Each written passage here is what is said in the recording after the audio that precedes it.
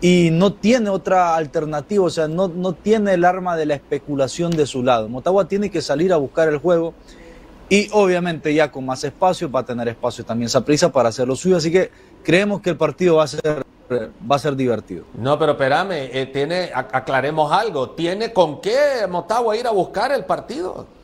¿Tiene con qué? ¿Tiene para ese atrevimiento?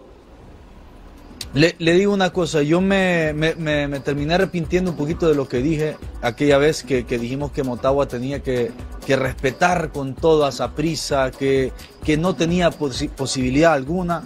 El partido en Tegucigalpa demostró que Motagua, sí, sin que le sobraran luces, porque tampoco le sobraron muchas ideas, pero con entusiasmo, con una que otra individualidad, Motagua demostró que también podía complicar a este equipo. Entonces la sensación que tengo yo es que no tenés nada que perder ya, o sea, nadie da como favorito a Motagua, nadie, nadie le pone la etiqueta de el obligado a clasificar a Motagua, entonces ¿qué? Salí a buscarlo y si perdés, perdés, pero yo creería que la mejor manera que puede dejar Motagua, eh, la mejor imagen que puede dejar ante su afición hoy es saliendo a buscar el partido eh, y, dando una digna presentación en ese sentido. Después puedes ganar o, o puedes perder, ¿verdad? Fútbol es fútbol.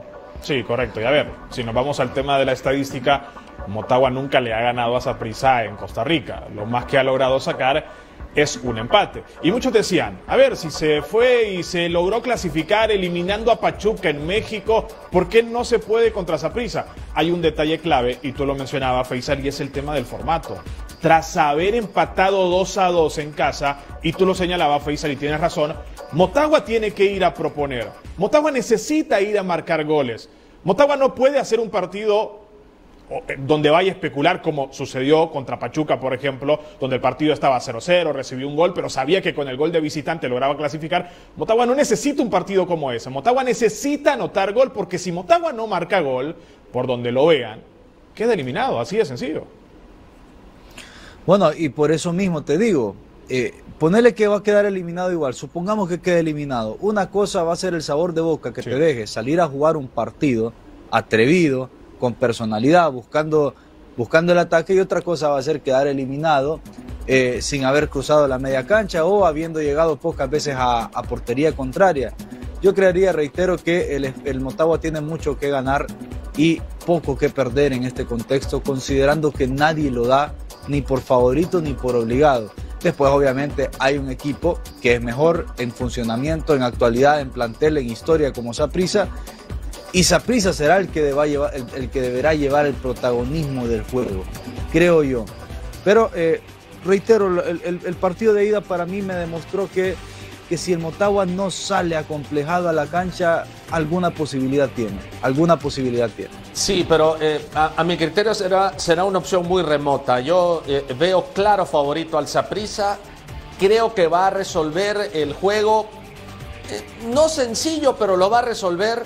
Ya está recuperado Waston. su goleador, el que no estuvo en la ida, también está recuperado. Ya, ya lo vimos el fin de semana incluso marcando.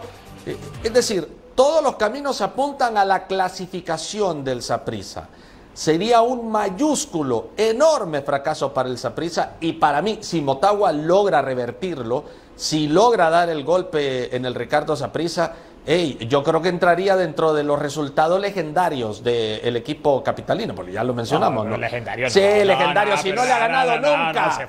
¿Cuándo le ganó al Saprissa? No, le ha ganado legendario nunca, hombre. por, no le clasificar en una llave de repechaje. no lo confundás con el Olimpia que gana cada rato, pero, legendario no gana, hombre. Bueno.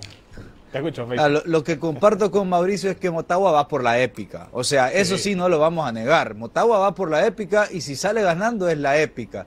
No sé si será tan legendario porque yo comparto también, es un repechaje, pero eh, sí va por la heroica. Ganar eh, o empatar 3 a 3, que le daría una clasificación, en el Ricardo Saprissa sería una gesta heroica, especialmente para este Motagua en el que muchos no creíamos, ¿verdad? Bueno, de héroe a leyenda y un pasito cortito, o sea, no estamos tan distantes en la interpretación. Bueno, eh, ¿solo pronóstico final, Mauricio? Eh, no, eh, clasificas a prisa. A mi criterio pasa Yo también creo que pasa a prisa. Sí. No, yo también. Bueno, o, digo, o digo Motagua para, para que hagamos un 2 contra 1. No, no, ya es evidente que tú te inclinas por el Saprissa. Yo creo que, eh, digamos que ese es el pronóstico eh, apegado a lo futbolístico. Ahora, en el campo puede pasar algo diferente. Para ver más, suscríbete al canal de Fox Deportes en YouTube.